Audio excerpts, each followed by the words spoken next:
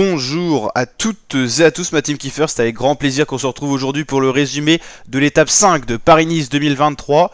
Euh, une étape qui était euh, sur le papier pour les sprinteurs, il y avait quand même quelques euh, boss au programme qui a éliminé quelques coureurs. Le profil de l'étape était le suivant, une première partie très vallonnée avec pas mal de points attribués pour le maillot des grimpeurs et une deuxième partie avec une côte répertoriée en troisième catégorie, 4 km 5 à 4% de moyenne.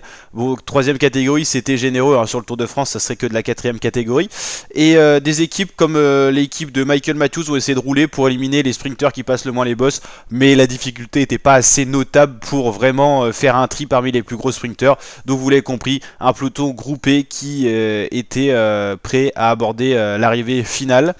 Euh, à noter que sinon il n'y a pas eu de choses spéciales euh, dans la journée. Euh, il y avait une échappée en début de journée, surtout pour les points des grimpeurs. Ensuite, un coureur a poursuivi son effort mais s'est fait rattraper très rapidement par le peloton qui n'a pas pris de risque. Là, les formations de sprinters sont en train de se dessiner à 2 km de l'arrivée. on voit les quick step pour Tim Merlier qui a déjà gagné une étape sur ce Paris-Nice. On voit les Jumbo d'Olaf Koench. On voit également là bah, Florian Sénéchal qui prépare le sprint de Tim Merlier. On voit Mats Pedersen bien placé euh, Arnaud Delis, Brian Cocard avec la Cofidis. Enfin, on a toutes les principales formations qui sont bien passées. La Ineos qui remettent et qui replacent leur leader euh, Dani Martinez.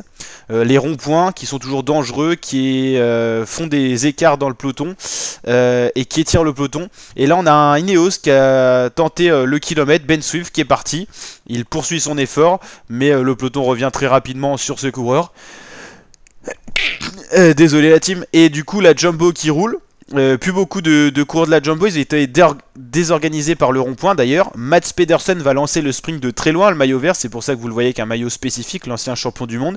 On voit le Jumbo Olaf Coin qui revient très fort et qui est tout simplement le plus fort sur ce sprint et qui va aller s'imposer. Euh, première grosse victoire de sa carrière, Olaf Coin qui attrape la première étape sur Paris-Nice pour lui.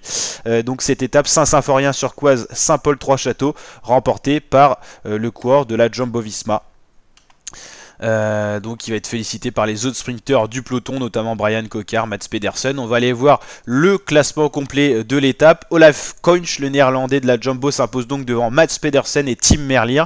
On retrouve souvent les sprinteurs à peu près les mêmes, les plus rapides. Pedersen et Merlier ont déjà gagné une étape. Matteo Trentin pour la UAE fait un bon résultat. Max Kanter pour la Movistar, le sprinter allemand, c'est pas mal. Le premier français, Brian Cocard pour la Cofidis. On retrouve Sam Bennett beaucoup plus loin. Il a perdu Nino, je trouve.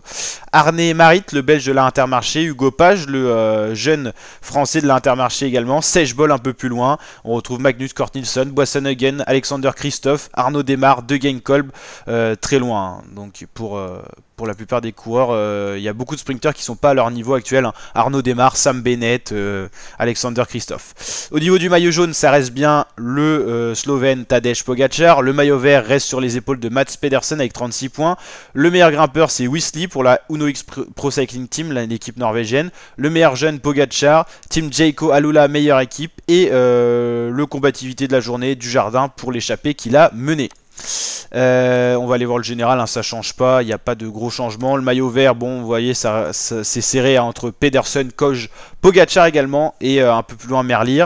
Meilleur grimpeur, 30 points. Euh, le Norvégien a pris une bonne option. le maillot blanc, Tadej Pogacar et la meilleure équipe, la Jayco Alula.